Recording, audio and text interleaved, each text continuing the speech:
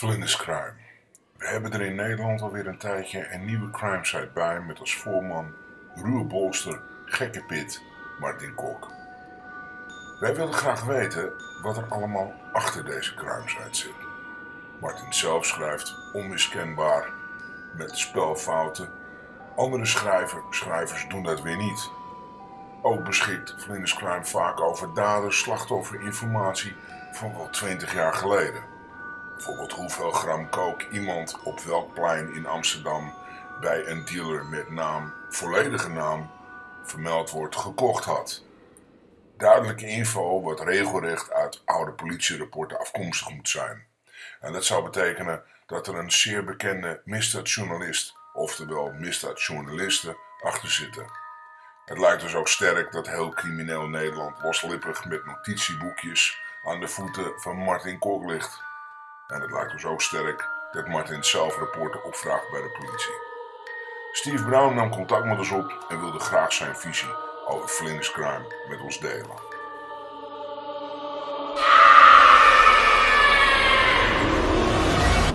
We hebben weer een tijdje in Nederland een, uh, een nieuwe crime site van Martin Kok. Je zou bijna kunnen zeggen, wie kent hem niet? Want inmiddels is hij bij Pauw geweest, iedereen kent hem wel. En uh, lees lekker weg, zo'n site van Martin. Ondanks dat hier en daar een schrijffoutje maakt, val ik niet over. Want ik vind zijn verhalen lekker sappig. En ik geef eerlijk toe, ik zat er toch vrijwel elke dag wel even te spieken wat er gebeurt. Maar als je zo'n crime site bekijkt, ga je op een gegeven moment toch ook dingen afvragen. Dat is eigenlijk vooral hoe Martin zich profileert. En het eerste wat ik me afvroeg is, kan je nou zomaar een crime site beginnen? En dan heb je zomaar informatie. Want het is toch een beetje apart. Als je dat zomaar kon beginnen. Dan hadden we wel 35 miljoen nieuwe crime sites. En geen belhuizen en islamitische slagerijtjes. Dan hadden we crime sites. Nee, dat kan je niet zomaar beginnen. Waarom niet? Omdat je bronnen nodig hebt. En het grappige is dat Martin van elke liquidatie, waar dan ook in het land, heeft die informatie, mensen gesproken. Soms gaat het een beetje te ver. Weet hij zelfs dat mensen linkshandig schijten, kook snuiven en hun wijf in elkaar rammen. En dat gooit je dan ook op die site. Dat is wel jammer. Maar goed, dan denk je, nou ja, als leek. Die Martin, die rijdt gewoon met zijn auto door heel Nederland. Die interviewt 16 miljoen mensen per seconde. En daarom weet hij alles. Maar dan denk je weer, ja maar wacht nou even. Als bij mij iemand voor de deur komt, hey, die liquidatie bij jou voor de deur, weet je, heb je al een idee? Ja natuurlijk, dat is Jan-Piet Hein die de hele dag snuift en dan neukt moeder in zijn reet. Ik zeg, wil je mijn naam erbij hebben? Nee, natuurlijk niet. Dus hij krijgt ergens informatie vandaan. Nou, die informatie, nogmaals, die komt niet van de straat. Want Martin zit niet de hele dag op straat. Want als je die site een beetje volgt, zit Martin de hele dag in een hoerenhuis. Neukt alleen maar wijven, drinkt champagne en rolt zijn bed uit. Dus dan komen er een paar vragen bij mij naar boven. Is die site nou echt helemaal alleen van Martin? Is Martin het grote brein? En heeft Martin connecties door heel Nederland die loslippig met hem praten over wat er allemaal gebeurt? Iedereen is een poepelap. En is die crime site nou echt helemaal alleen van Martin? Is hij het brein? Doet hij alles? Rijdt hij door Nederland? Kent hij iedereen en iedereen praat met hem? Zo fantastisch. Twee, wie zit erachter? Misschien heeft hij namelijk wel een bron. En dat is wel belangrijk om te weten, want wie is die bron? En dan kun je je ook afvragen waarom hij soms zo gespitst op mensen tot op het bot gaat. Wat eigenlijk helemaal niet nodig is, want je kan gewoon informatie geven. Je hoeft iemand niet helemaal af te branden. Zo van, hij was een hoerenloper en een reetneuker en zijn moeder had ook stront van zijn snor. Dat hoef je allemaal niet te melden. Dus, belangrijke punten. Wie zit er achter de site van Martin Kok? Van wie krijgt hij zijn informatie? En waarom heeft hij zo'n opvallende bloedhekel aan Holleden? Niet een klein beetje, maar echt alsof hij zijn zakgeld heeft afgepakt toen hij klein was. Alsof hij te vaak had gewonnen met knikkeren. Ja, dat is ook een gabber van Holleder. Allemaal gabbers van Holleder. Allemaal kooksnuivers. Als je ook maar één keer met Holleder in je leven gesproken hebt, dan ben je een kooksnuiver. En je moeder heeft een snor. Holleder en Martin Kok waren geen bloedgabbers. Sterker nog, ze waren ook geen gabbers. Poepelap, poepelap, lange neus. Oh ja, een kooksnuiver. Poepelap, pipi langkous. 1125, code 6, 105 North Avenue 52. Harry, ik heb vandaag uh, een ontmoeting met uh, mijn patiënt, want die wil heel graag weten hoe het zit met uh, de website Vlinderkruin van de zwak begaafde moordenaar Martin de Kok. Even een zijsprongetje voor we aan het interview beginnen. Ik heb het boek Killing Fields van Amsterdam geschreven. Die behandelt eh, een stuk of 20, 30 professionele afrekeningen, moorden in de onderwereld. Daar vind je de naam Martin de Kok niet in terug. Totdat de website Vlindercrime gelanceerd werd, heb ik nog nooit gehoord van Martin de Kok. Ook niet als moordenaar. Had je nou de En geen idee. Maar, het, maar je moet het zo zien, het is eigenlijk wel begrijpelijk dat hij niet voorkomt in het boek wat gaat over professionele huurmoorden. Want Martin de Kok is natuurlijk het categorie moordenaar die mensen eh, in emotie waanzinnig, om niks eigenlijk, mensen vermoord. Dat zijn de moordenaars die thuis horen in de professor Plompenkliniek en niet in het boek Killing Fields of Amsterdam. Oké, ik heb een vraagje. Ik had net al verteld. eh, we hebben een nieuwe crime site, Martin Kok. En eh, ik vind persoonlijk dat het lekker wegleest. Maar ja, ik, ik lees ook de privé en de weekend. Dus ja, ik ben volgens mij geen goede graadmeter. Ja, of wel voor de massa. Misschien wel. Ja, dat massa misschien wel. inderdaad. Er kijken natuurlijk meer mensen naar RTL Boulevard dan die de Groene Amsterdammer lezen. Precies. Dus je hebt gelijk. Dus qua herseninhoud ben ik soms de massa. Ik lees graag dat soort pulp. Ja, waarom niet? Dus, Het eh, kan een afleiding zijn. Zeker. Af en toe maakt hij dan een foutje, vind ik ook niet erg. Eh, alleen wat dan opvalt zijn een paar dingen. Eén, eh, iemand die net begint, die connecties heeft door heel Nederland en overal van weet, nou ja, ik zie hem niet op zijn brommer naar hele rijden en daar op de kant vragen hoe het zit met een liquidatie. Gisteren iedereen bosclippig. Nou, eh, hè, dus dat kan niet, dus hij heeft een bron. En ik wil weten of die objectief is, want soms praat hij over mensen ook een beetje snerpend. Zo van, hè, dit snuivertje, zijn moeder uit de snor, die wordt ook in de reet Ja, gedaan. zeg maar nodeloos beleven. Ja, ja, gaat erg, gaat erg heftig. En, en zijn tomeloze haat op eh, Wimpy. Holleder. En Laten we beginnen met, eh, is die site wel alleen van hem? Nou ja, volgens eh, mij, en inmiddels heb ik ook begrepen van andere mensen. Dus één, en dan zeggen we de feiten. En dan zeggen ze in de justitiekringen de omstandigheden. Kijk, Mag je zeggen van wie je het hebt gehoord? Nou, verschillende mensen heb ik het gehoord. Kan je staat- eentje noemen? Nou, ik ben niet goed in naam, die namen. Hoe klinkt die nou? Doe hoe klinkt die? Nou, de ene was als- ik Frans, eh, die heeft gereageerd. Een insider, die eh, mailde. Dus dat, eh, Maar we moeten het niet dat bemoeien. kunnen mensen nalezen op mijn website onder het artikel eh, Martin, eh zwartbegaafde eh, moordenaar Martin de Kok gooit stotrond van toch horen neer. Hij toch Martin Oh, Martin Kok, Hij ik Martin Kok. Ja, maar dat is heel disrespectvol. Je, je vindt hem zo niet interessant dat je zijn naam heel het verkeerde uitspreekt. Nou ja, ik vind hem natuurlijk helemaal niet interessant. Dat heb ik nooit gevonden. Maar even terug Martin op jouw Kok. vraag. Ja. Kijk. eh, Doet hij het alleen, denk je? Nou, nee, hij doet Nee. helemaal niets. Hij Nee. is wat mij betreft, en ik, eh, de feiten en omstandigheden die staan op mijn webblog, kunnen de mensen nalezen. Hij is een soort outlet gebombardeerd door de Peter R. de Vries eh, misdaadgroep. Waartoe een van de hoofdpionnen is de bekende Hendrik Jan Kortering, pedofiel. Dat is toch een misdaadjournalist? Ja, dat is, die is degene die daarachter zit. Kijk, Maar, maar waar krijgt, vraag, waar krijgt die Herman Jan Kortering dan ook informatie bijvoorbeeld van justitie, van het politieapparaat? Dus jij zegt Herman Jan Kortering. Jij vindt het leuk ja, dat we de Hendrik, Jan interacties... Kortering en eh, Peter de Vries zijn, Die- die, die zijn de drijvende kracht. Ja, natuurlijk. Kijk, die zaten op een gegeven moment, hun namen zijn zo beschadigd, als het gaat om Holleden, eh, dat ze zoveel belangen hebben en belangenverstrengeling, dat hun kunnen met goed fatsoen niet meer met al die komende Holleden-processen nog commentaar leveren op Holleden. Kijk, iedereen weet, het is toch geen geheim, het is absurd dat je dat Maar nergens denkt hoort. het zeker is? Herman Jan Kortering zit erachter. Daar krijgt hij zijn Zeker. van. Daar krijgt hij zijn info van. Onder andere en van justitie en van Peter de Vries. Vergeet niet dat Peter de Vries ongeveer de langstlevende politieinformant in Nederland is. Die werkt Ja. al 25 jaar voor de politie. Is zo dikke mik met de politie. Dus Martin Kok valt eigenlijk in hetzelfde schuitje gewoon. Ja, eigenlijk, dat is wel zeker. Even terug op de, de feiten. Wie had ooit gehoord van Martin Kok? Ik nog nooit. Ik heb zeven boeken geschreven over de zogenaamde georganiseerde misdaad in binnen- en buitenland. Hij kwam een keer in een boekje dat Ja, hij een, nee, eh, hou, hou- alsjeblieft. Een, ik moet je eh, toch even... hoerenclub vanuit de ja, een hoerenclub, dat, dat, dat heb je, maar heb 18 jaar gezeten voor professor Plompenkliniekmoord. Twee idioten. Ja, dat, die geeft hem zo'n normale klets. Als je bij ons vroeger binnenkwam, dan heb je er niks mee te schaffen. Om een lang verhaal kort te maken, die man is, die hebben ze zelfs uit de riool getrokken. Hebben ze neergeknald bij die pauw. Maar kijk, hier is een tweevoudige moordenaar die alles weet. En die daar als een imbeciel, echt als een imbeciel, dat, dat trok mijn aandacht voor het eerst. Zo gaat zitten naar iemand die misschien levenslang krijgt. Kijk, Holleder, dat weet iedereen, en jij ook, is nooit mijn vriend geweest. Nooit.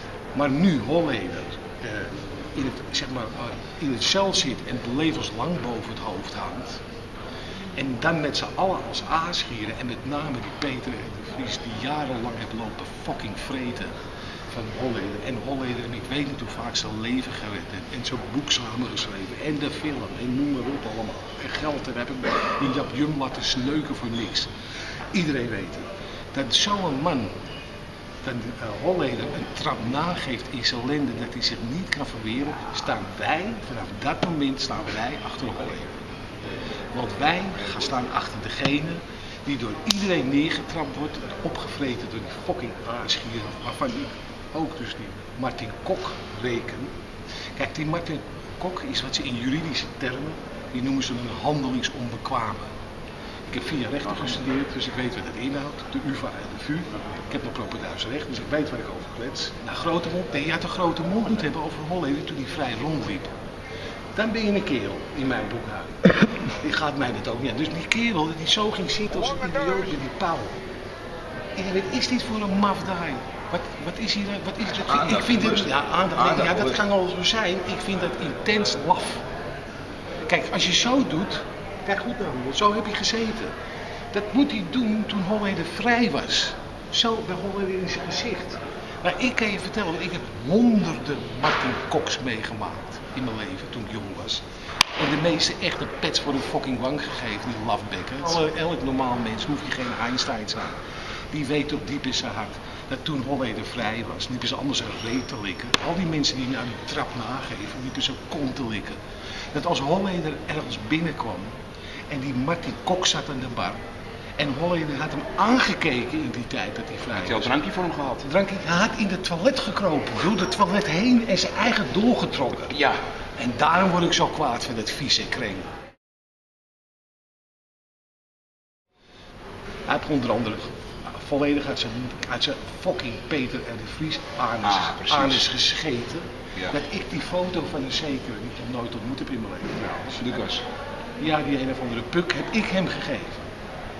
Toevallig ken ik zijn vader vanaf mijn jeugd. Ben ik mee opgegroeid in de pijp, dus die weet ik zo niet ben. Wil hij dus, dus, zegt hij dus willens en wetens dat ik die foto aan hem geef, terwijl ik al ruzie met hem heb. Dus keer nou hoe ver Maar dat zij gaat. weten wel beter.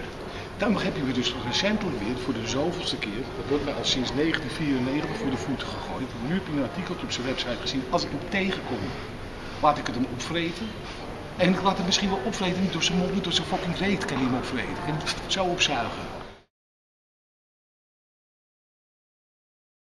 Er schijnt ooit, is Cor van Hout en Willem Holleder in een sekshuis geweest. Dat hij zo'n derde ik zie het zo helemaal voor me, zo'n kartonnen doos Met boel, mannenpas, weet je dat wel. met een zwembad. Ja, een zwembad in, de fontein. Ja.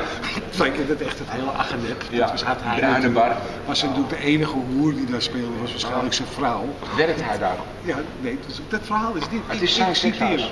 Ik toen, het de, nee, ja, het was schijnbaar zijn sekshuis, of weet ik veel. Er staat er bij, er staat in een sekshuis kwam een Cor en, eh, En zijn vrouw en, en zijn vrouw, ja dat staat het, zijn vrouw die was daar natuurlijk de hoofdhoer, heb ik begrepen. Hoofdhoer. Nou ja, whatever, die heeft niet zoveel. In in die tijd had je luisteraar, vrouw was die de je hoofd- gek bent. Nee, maar je, komt, je weet Die woorden die je gebruikt zijn goed. Ja, mama Zijn vrouw, hoer, mama hoer.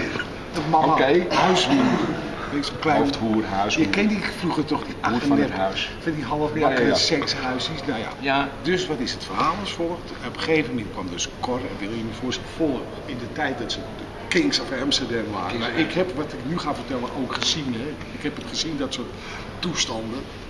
En die hebben op een gegeven moment hebben ze dus, zeg maar, Papa Pooier, in dit Papa geval, Pooier. Papa Pooier Kok, die hebben ze dus weggestuurd, zogenaamd om het papier te halen. Dat is wat me, en dit heb ik gezien, is niet, ik heb het niet van Kok gezien, maar ik heb dit soort situaties zo vaak gezien. Met er eentje even... Even weg, ja. En hij was natuurlijk een soort loco in die tijd. En nu waren het natuurlijk de giganten. En toen schijnen dus, hebben ze met z'n tweeën, dus zijn vrouw uit elkaar getrokken. Hij van die bier ging uit. Toen kwam hij hoer. Ja, nou nou zit jij de boel op jutten. Nee, nee, nee. En toen schijnt, is hij ook iets, staat, de informatie staat ook, dat kun je nalezen Maar op de mama. website. Nou ja, toen is hij iets te vroeg teruggekomen. En toen moest hij dat uitzitten, dat hun nog bezig waren met zijn vrouw, zou ik maar zeggen, in de kast. Nou, en dat, die informatie Dit is wel zo gedetailleerd. Dat, Nou ja, dat moet ik wel citeer, ik citeer. ja, Zou jij erom liggen, Steve? Vind ik ook niks voor jou. Nou ja, nee, ik, ik citeer, ik citeer, het is niet wat Van. Jan of Piet? Ja, die staat op mijn site. Nou, en toen degene heeft me dat gemaild. Die zegt, dat is zijn obsessie met Holleder. Nou, dat, als dat waar is, ik weet niet wat waar is. Kijk, voor nu, vandaag de dag, kunnen mensen zich dat haast niet voorstellen. Zo ging dat vroeger. Ja, dat was op zich... Maar dat is dus wat Martin eh heeft Dat zeggen ze, nou ja, als je dat bij elkaar optelt, dat je dan een ander belang hebt. Dat is Peter R. en die Hendrik Jan Kortering, die pedofiel. Die hebben het belang om Holleder dus voor eens en voor altijd levenslang op te bergen. Kennelijk, volgens mensen die dit mij verteld hebben. Ik weet ook niet of het waar is, maar dat wordt gezegd. Dat ze 25 miljoen van Holleder gejat hebben. Ja, dan, dan heb je dus eh, een, een, een motivering om hem opgeborgen te houden. Dat zijn er 25 miljoen. Als je vervolgens een zwak begaafde aan de hand krijgt, en Eh, Martin Kots, eh, Kok, die je alles kan laten zeggen wat je wil als een buikspreekpop. Wat je dus eigenlijk zelf niet kan doen, want dan, want dat komt het niet meer over. En Peter Vries kan niks zeggen over Holleder. Die krijgt elke keer voor zijn voeten gegooid. Wat moet jij nou zeggen? Je bent 25 jaar lang zijn loopjongen geweest. Hoe zit dat? Snap je? Dus dat is een moeilijk verhaal. Die krijgt het voor zijn voeten met zo'n kok. Hier is gozer uit de onderwereld, moordenaar. Psychopaat, maar goed. Snap je? En die is niet bang voor niemand. Grote neus, dat hij in de cel zit. Nee.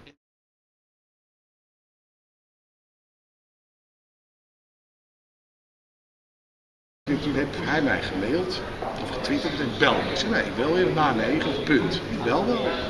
Maar dat heb ik gedaan, de de mensen kunnen het nazien op internet. Tot Ja, ik heb het gehoord, Ja, je tot belt.